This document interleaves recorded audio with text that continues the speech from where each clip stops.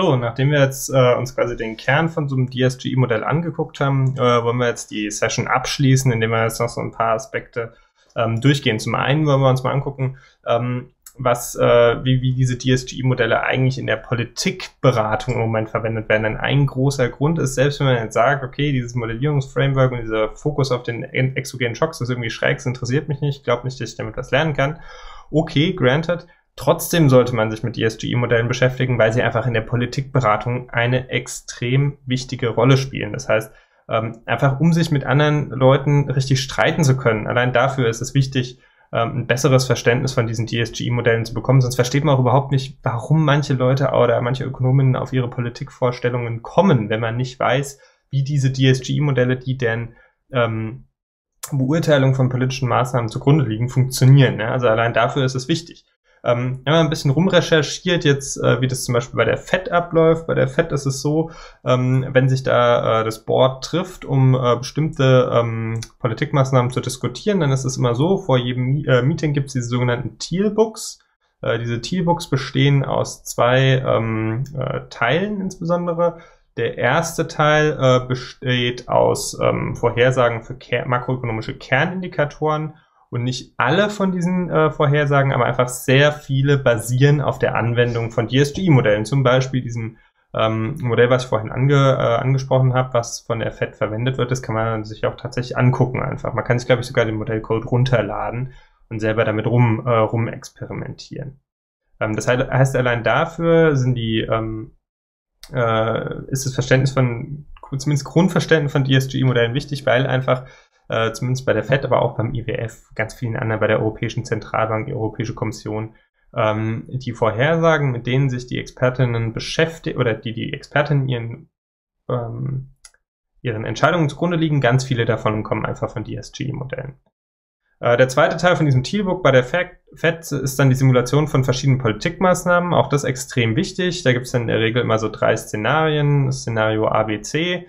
Ähm, und äh, diese Politikszenarien werden eben auch mithilfe von DSGE-Modellen modelliert.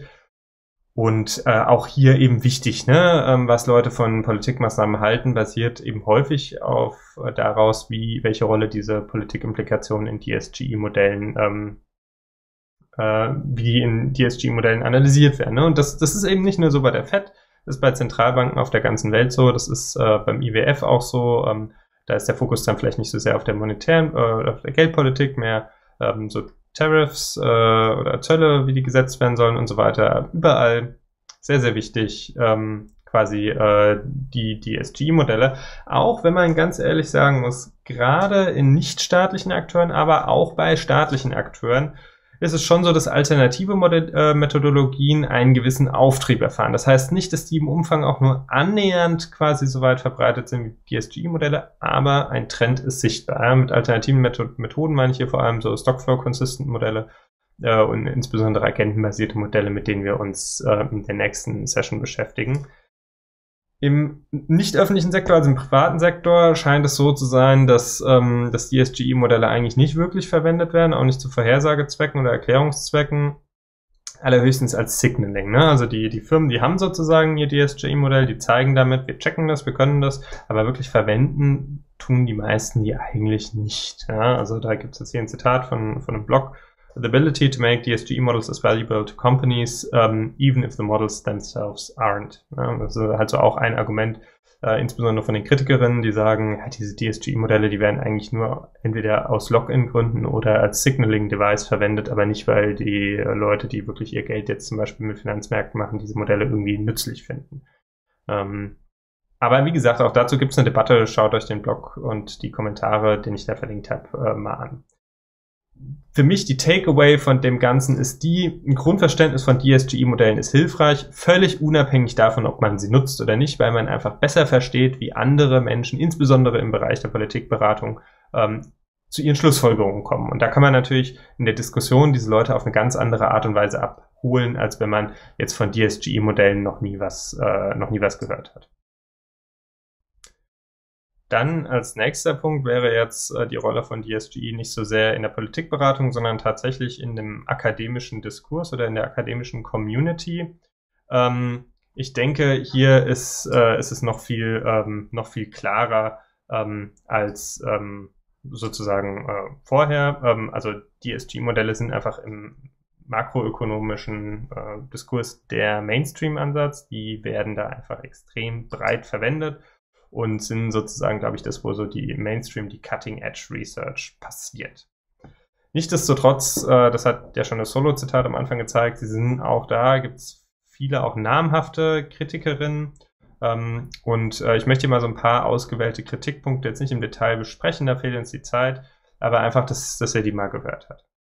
Klassischer Kritikpunkt ist, dass DSGI-Modelle blind gegenüber Heterogenität der Agenten sind. Das ist vor allem was, was so aus der evolutorischen Perspektive, wir letztes Mal ähm, ge, ähm, kennengelernt haben, äh, wird es regelmäßig, äh, regelmäßig kritisiert. Und so ganz hundertprozentig korrekt ist es natürlich nicht. Ne? Es gibt diese Heterogeneous Agent New Keynesian Models, wo ähm, eine gewisse Agentenheterogenität drin ist. Aber man muss natürlich auch sagen, an der Kritik ist schon was dran. Die Heterogenität ist sehr basal, sehr ad hoc. Ähm, die Agenten unterscheiden sich dann zum Beispiel im Einkommen beziehungsweise im, äh, in ihrem marginalen Konsumverhalten. Das ist absolut nicht vergleichbar mit der Heterogenität, wie sie zum Beispiel in der äh, evolutorischen Ökonomik, Stichwort T9, ähm, äh, wir die gesehen haben und die da praktiziert wird. Und insbesondere, und das ist, glaube ich, der absolute Kern hier, es gibt keine direkte Interaktion zwischen den Agenten. Ähm, wir gehen davon aus, dass wir in einem Gleichgewicht starten in der Ökonomie. Ähm, keine Ahnung, wie wir da hingekommen sind. Wir sind in dem, äh, in dem Gleichgewicht. Die Agentinnen optimieren intertemporal, aber sie haben nicht wirklich eine Interaktion miteinander, nur über das Gleichgewicht hinweg. Und wir werden das gerade nächste äh, Session mit den agentenbasierten Modellen sehen, diese Heterogenität wird halt vor allem dann wichtig, wenn die Agenten direkt miteinander äh, interagieren. Ja?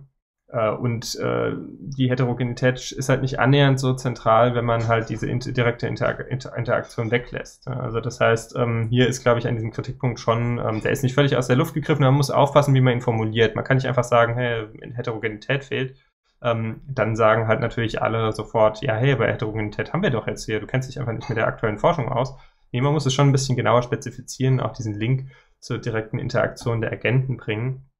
Und diese fehlende direkte Interaktion ist sowieso einfach so ein bisschen eine Krux, dass halt viele von den Phänomenen, DSGI-Modellen, die vielleicht ganz gut zu den Daten passen, halt nicht wirklich endogen ähm, entstehen. Ne? Also wir haben halt irgendwie dieses Gleichgewicht und das ist auch super, dass das alles so schön konsistent ist und so weiter aber so generativ durch direkte Interaktion der Agenten, wie das in agentenbasierten Modellen ist, entsteht dieses Gleichgewicht nicht. Also man cheatet da schon in dem Sinne so ein bisschen, dass man im Gleichgewicht startet und dann halt einfach die, ähm, die, äh, diese exogenen Schocks da drauf jagt. Ähm, das ist auch quasi der nächste Kritikpunkt. Ne? Diese DSGI-Modelle sind nicht generativ. Wir nehmen an, das Gleichgewicht gibt's. Wir haben keine Ahnung, wie wir da hingekommen sind und alle Dynamiken außerhalb des Gleichgewichts werden ausgeklammert. Also wir berechnen diese Impulse-Response-Functions und sagen dann halt, naja, als Reaktion auf ein Gleichgewicht passt sich das dann alles so und so wieder an. Aber jetzt wirklich ähm, Ungleichgewichtsdynamiken, wie sie jetzt zum Beispiel im evolutorischen Ansatz total zentral sind, ähm, kommen da nicht vor. Also ähm, jetzt in dem Sinne, äh, Schumpeter wäre von diesen Modellen wahrscheinlich nicht sonderlich angetan. Und was natürlich in dem Moment hier dazu kommt, ist dieser, also irgendwie dieser komische Fokus, ähm, Entschuldigung, dieser Fokus auf den exogenen Schocks, die ähm, halt einfach extrem viel erklären. Ihr habt es jetzt gerade in dem ABC-Modell äh, gesehen, exogene Schocks, von denen wir keine Ahnung haben, wo sie herkommen, ausgeschaltet. Wir bleiben einfach die ganze Zeit im Gleichgewicht und nichts passiert. Also da fragt man sich ja dann schon, ist da dieses äh, diese Bezeichnung Dynamic in DSGE, zumindest an erster Stelle. Naja, wie auch immer. Äh, ich übertreibe vielleicht auch ein bisschen. Um, ähm, anyway, also ähm, dieser Fokus auf exogenen Schocks könnt ihr euch vorstellen, dass das natürlich ein großer Kritikpunkt ist. Auch sowas, keine echte Bounded Rationality. Ähm, es ist jetzt so, dass äh, in modernen DS DSGE-Modellen durchaus die Agenten nicht mehr rein, also die optimieren immer, aber man nimmt an, dass sie zum Beispiel Adjustment Costs haben, dass sie zum Beispiel nicht sofort ähm, ihr Investitionsverhalten ändern können, dass sie nicht sofort ihr Arbeitsangebot verhalten können. Damit versucht man sozusagen ähm, Entscheidungsimperfektionen abzubilden. Aber ähm, also ich hoffe, dass das jetzt nicht sexistisch ist. Ich, äh, also ich habe jedenfalls diese, diese relativ diese Formulierung hier gefunden, one cannot be a little bit pregnant. Ja? Also äh, entweder man ist jetzt bounded rational oder man ist es halt nicht. Und ähm, so ein paar Adjustment Costs sind halt eher dann doch eher nicht bounded rational, sondern halt eher fully rational. Immerhin sind die DSGE-Modelle das Ergebnis äh, von der Rational ähm, Expectation Hype ähm, äh, Revolution. Also, ähm, naja, das ist dann halt so mit Bounded Rationality so ein Ding. Das wird jetzt nächste Woche nochmal total im Zentrum stehen, was man unter Bounded Rationality tatsächlich verstehen kann. Ähm, wahrscheinlich nicht unbedingt das, was jetzt auch in den modernen DSGE-Modellen, die da ihre Adjustment Costs mit drin haben, ähm, äh, ist. Ja, also da, da ist, denke ich, schon ein wichtiger, wichtiger Unterschied.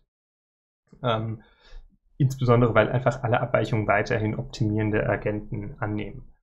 Und was jetzt natürlich, ja, könnte man jetzt sagen, ist vielleicht ein bisschen fiese Kritikpunkt. Es gibt nicht wirklich eine Verbindung zwischen langer und kurzer Frist. Ne? Also jetzt gerade in den RBC-Modellen ist der Fokus ausschließlich auf der kurzen Frist. Bei DSGE wird es manchmal hier und da ein bisschen besser, aber insgesamt auch nicht so. Ähm, gerade technologischer Wandel ist oft nicht zentral in den Modellen. Gleichzeitig ist technologischer Wandel aber halt nur mal zentral für langfristige Dynamiken. Ähm, das heißt, das ist definitiv ein, ähm, ein Kritikpunkt an den DSG-Modellen, dass sie da einen wichtigen Aspekt letztendlich aus, ausklammern. Okay, noch mehr Kritik ähm, empirisch inkonsistent mit stilisierten Fakten auf verschiedenen Ebenen. Ne? Also auf der einen Seite natürlich haben wir hier äh, so ein bisschen einen, einen Widerspruch, äh, DSG als Data-Driven Approach, das ist richtig, in dem Sinne, dass halt tatsächlich viele neue in Innovationen in diesen Modellen motiviert werden durch Daten.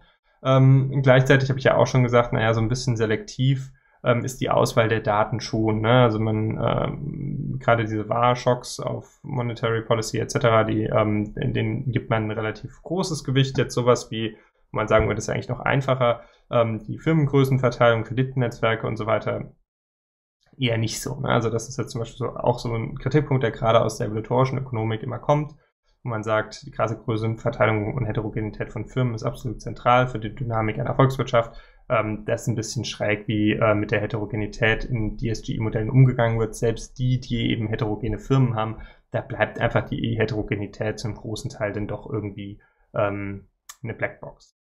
Keynesianer ähm, sind mit anderen Dingen unzufrieden, die kritisieren halt diese implizite Angebotsorientierung äh, und die, ähm, die fehlende Rolle von ähm, aggregierter Nachfrage. Da gibt es natürlich auch ein paar DSGE-Modellierer, die sich das zu Herzen genommen haben und auch entsprechende Modelle formuliert haben. Insgesamt kann man aber für das Paradigma als Ganzes sagen, dass diese Angebotsorientierung jetzt nicht ganz ähm, von der Hand zu weisen ist. Evolutorische Ökonomen finden das jetzt nicht ganz so grauslich. Ähm, die hadern eher mit dieser Gleichgewichtsorientierung und der limitierten Betrachtung von technologischem Wandel. Sprich, ihr seht schon, jeder findet an diesen Modellen auch was, was ihm oder ihr nicht passt.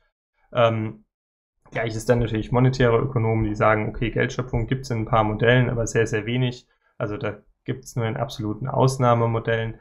Und was jetzt vielleicht so ein bisschen der fieseste Kritikpunkt ist, ähm, der äh, häufig so von Leuten, die ein bisschen aus der Statistik kommen, äh, formuliert wird, die sagen, DSG ist nicht wirklich, das ist nichts Halbes und nichts Ganzes. Ne? Also wenn ich jetzt ein Modell haben will, ähm, was gut deskriptiv Output validiert werden kann auf verschiedenen Ebenen, Ebenen ähm, da sind sie irgendwie sehr stark, äh, sehr stark limitiert, ja, irgendwie, also durch diesen, dass, dass ich nicht richtig Heterogenität reinkriege, dass ich die Generativität nicht reinkriege, dass ich halt irgendwie nicht so diese Multi, äh, Multi Level ähm, äh, Calibration habe, wie das zum Beispiel in ABMs. Gleichzeitig, wenn ich jetzt aber die Modelle wirklich zur Vorhersage nehmen will, da sind sie irgendwie zu komplex, da sind sie überdeterminiert. Äh, da bin ich besser dran, wenn ich jetzt so ein reines äh, datengetriebenes Makromodell nehme. Das heißt, wenn ich jetzt nicht irgendwie in dem Kontext groß geworden bin, ist so ein bisschen die Frage, warum will ich die jetzt zum Beispiel eigentlich?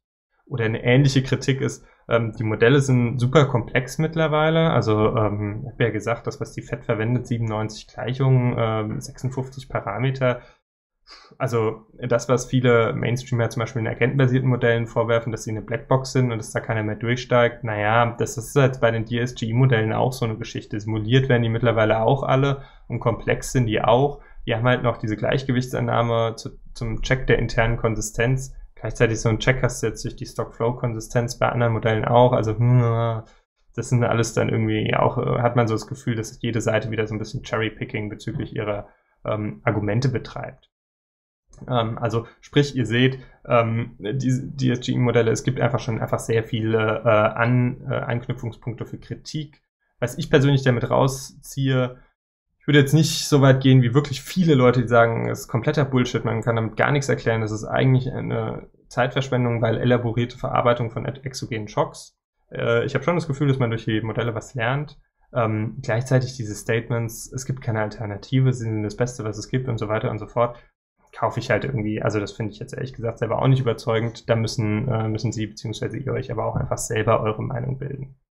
Ähm, ich finde, was vielleicht jetzt noch wichtig ist, ist so, eine, so ein bisschen soziologischer Punkt. Ein wichtiger Grund für die Popularität ist halt wirklich, was diese Modelle geschafft haben, ist einfach so die perfekte Inkorporierung ähm, von Makro in äh, die neoklassische Mikro. Ne? Also wir haben hier wirklich einen wunderbaren äh, theoretischen Rahmen bereitgestellt durch das neoklassische Framework. Ähm, und wir haben hier wirklich die Mikrofundierung der Makro in absoluter Reinform. Also äh, das ist, denke ich, schon was, warum auch innerhalb des neoklassischen Paradigmas ähm, diese, diese Modelle so unfassbar, äh, unfassbar beliebt sind.